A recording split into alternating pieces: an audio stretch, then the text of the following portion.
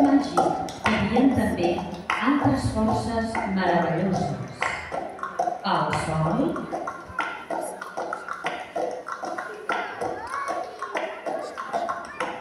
la lluna,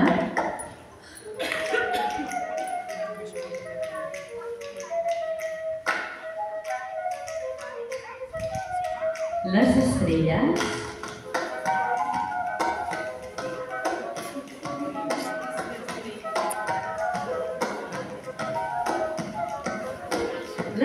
les muntanyes,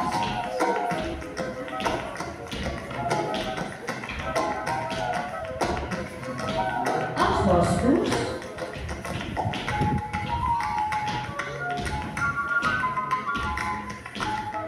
els rius,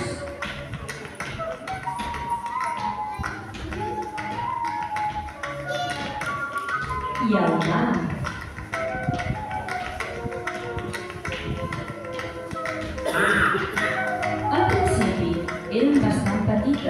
Però a poc a poc es van fer més i més grans i van créixer tant que el lloc màgic es va omplir de naturalesa per tot arreu.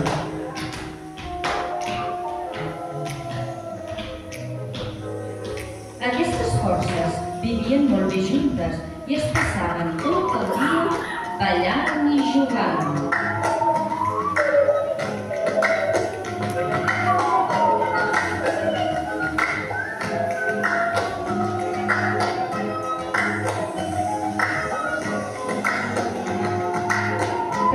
Forces no sols es divertien, sinó que també eren molt importants per la vida dels habitants d'aquell lloc tan màgic.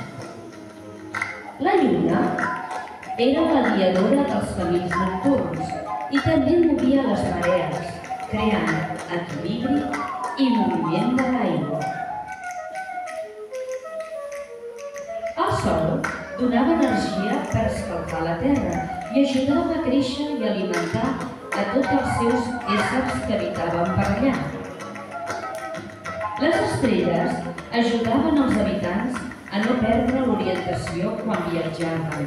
A més, feien dibuixos meravellosos que feien somiar i utilitzar la imaginació de qui els mirava.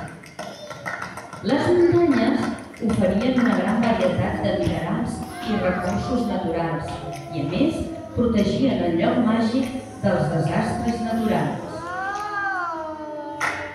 Els boscos protegien molts animals i plantes i, a més, netejaven l'aire i creaven ombra i humitat quan el sol era molt i molt fort. Els rius creaven aigua dolça que portava nutrients essencials que necessitaven els seus habitants i també per la seva agricultura. El mar produïa oxigen i creava grans aliments pels habitants del lloc màgic i regulava el clima perquè poguessin viure molt i molt bé. Totes aquestes forces eren fonamentals pel món i treballaven en equip per cuidar i progetti valentini dalla vita, dal